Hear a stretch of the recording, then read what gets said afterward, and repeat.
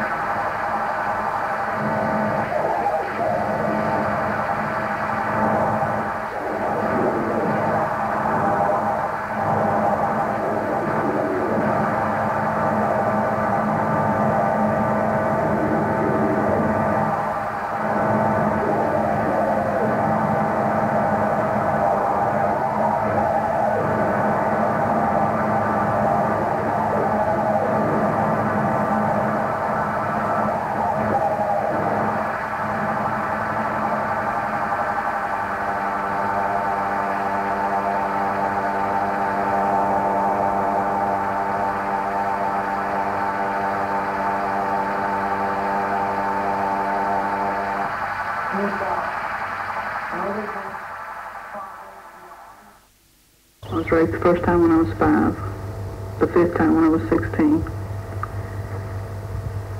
Once my mother was even in the same room there. And one time was supposedly by a man of God. Another time was by my dad's best friend. I had a nervous breakdown then and went to six psychiatrists before the sixth one finally decided that she could probably help me.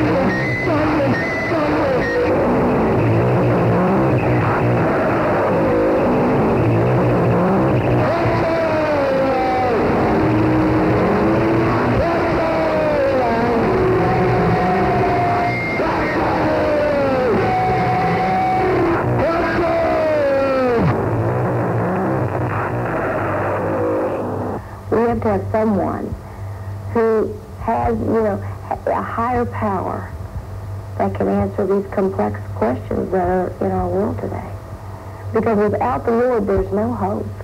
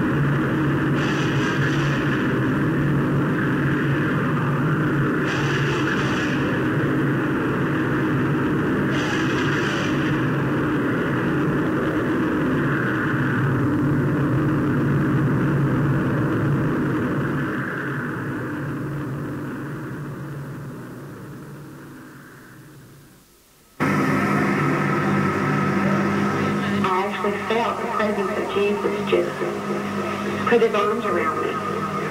And I heard an audible voice telling me that he loved me